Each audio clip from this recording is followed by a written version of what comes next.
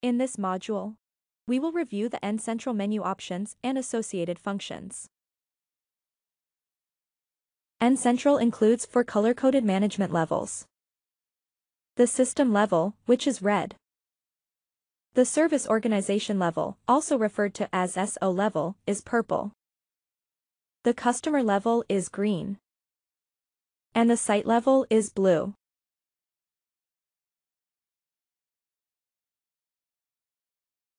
N-Central lists management categories as menu options that expand into submenus.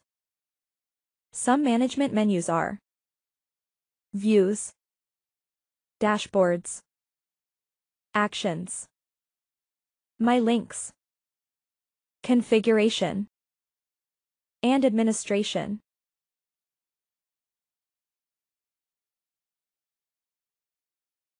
The Views menu provides information about device status and activity. Available views include Active issues Assets All devices Cloud inventory Job status NetPath and topology maps.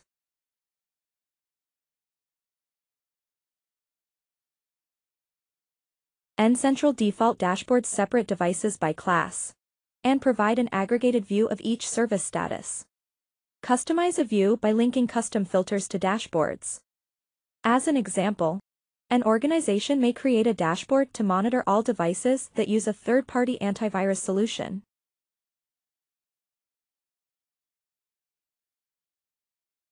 The Actions menu includes links to common tasks, such as adding a device, transferring files, or running a script. From the Configuration menu, perform management actions to create filters, rules, and service templates. Add scheduled tasks, scripts, and automation policies. Access Patch Management, Security Manager, and Device Management for Apple.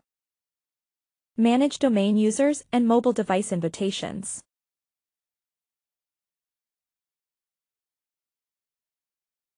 The administration menu allows users to add customers and users, set defaults and branding, configure Cloud Commander and PSA integrations, and add custom services and custom properties. The My Links menu includes shortcuts to commonly accessed sites, such as N-able Status Updates, the Automation Cookbook, and Help. Add other links to the menu and set them to be public or private.